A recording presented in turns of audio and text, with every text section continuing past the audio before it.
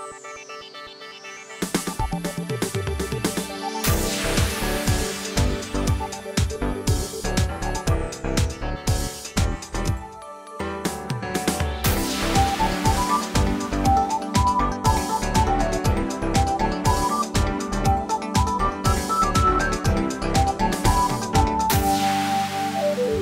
Hey everybody, um, this is Stefan. I'm here in the Facebook Cube. Here I Move the Dial, and I'm here with Vishakha Singh, the co-founder of Four Five Labs. Thank you so much for making time to chat. Thank you so much, Stefan. So we're here to talk about D&I today, but you've got a really interesting story. You Yeah. were an actor, you were a producer. Um, when you moved to Canada, you're now a tech entrepreneur. Yes. You run this growing small company, Four or 5 Labs. So you know, we talked a lot about sustainability and making sure that D&I isn't a once and done. Yeah. But in, in your case, it's almost uh, what are you making as a foundation right now to make sure that later on D&I won't be a once and done. And I'm Right. curious, you know, what's on your mind in terms of D&I as a young founder with all this very interesting previous experience? You know, A, I'm, I'm very happy that these conversations are happening because um, when I actually became a tech entrepreneur, I ventured into this space. I am, let me just clarify, I'm not from the STEM background.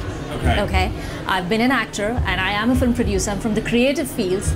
And I came into this field out of my own need because there was a need to connect with my audiences. Amazing. And that's how 4 5 Labs was born because it connects influencers and celebrities with their fans across all social media platforms. We are their writing tool that helps them save time.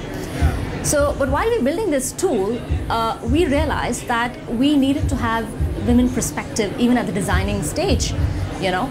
Um, and I remember my, my tech team was constantly in touch with me and my other influencer friends, female influencer friends, and it was because of their feedback and my feedback that our, our product actually came about.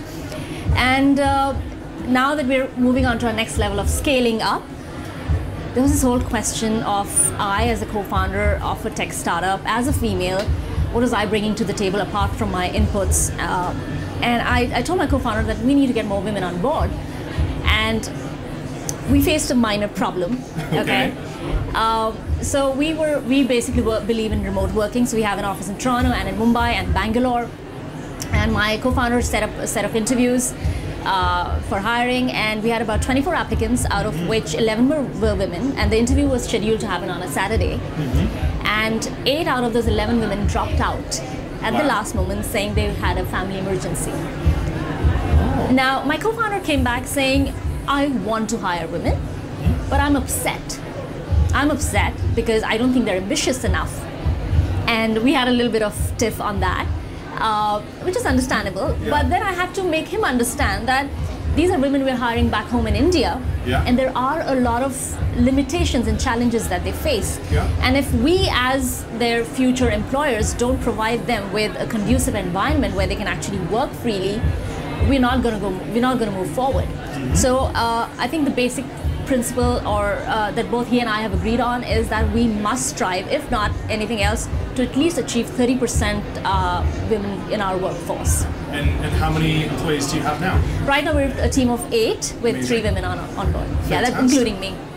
Fair, yes, as a co yeah. So that foundational thought was it was setting an accountability metric right Mm-hmm. off right off the start. It was uh, a little bit of self-education, I guess, for your co-founder Oh, yes. around some of the cultural understandings. Right, because you see, when you're in a startup, you are focused on scaling up. You don't want to deal with these issues, you know? 100%. But then you have to be a little more cognizant of these Yeah. issues.